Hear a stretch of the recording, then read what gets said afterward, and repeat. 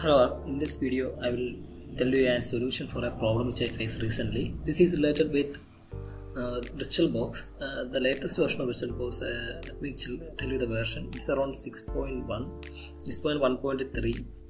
So what I faced was, whenever I create an guest OS in this VM, whether it is Arch Linux or Windows or any other operating system uh, on VirtualBox, basically a VM or uh, virtual OS or simply guest OS, it will crash. Mainly the browser, when you open the browser inside the uh, guest OS, the browser will crash lately. The entire desktop environment will crash and it's very difficult to use. This was mostly related when we enable this so-called acceleration uh, enable 3d acceleration. And if we uh, let, let me increase this video memory size. If you enable uh, 3d acceleration definitely this will cause the browser to uh, crash or the entire desktop environment to crash regardless which OS is used Windows or Linux.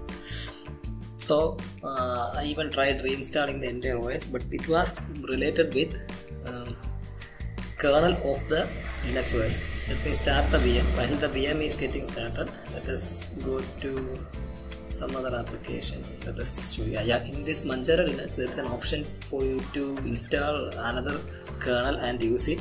Uh, once you install this kernel it's very easy. Press install you need to type the um, superuser password of course and it will install. Once you install it you cannot use it directly except while you are uh, booting up your OS you need to go to the advanced option select which kernel uh, you need to boot up with on that menu option there so uh, the kernel which was installed was 5.15 and later I just upgraded to 5.18 uh, so this solved the problem and now the VM is working fine.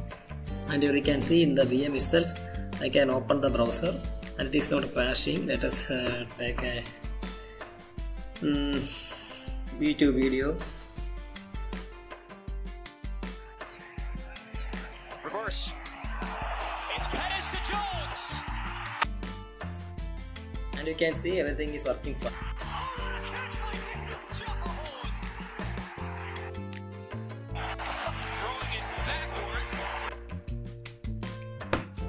let me close the VM so if you face this uh, kind of issue with your uh, virtual box you should uh, try to install a later version of Linux kernel uh, preferably 5.18 uh, it works fine for me.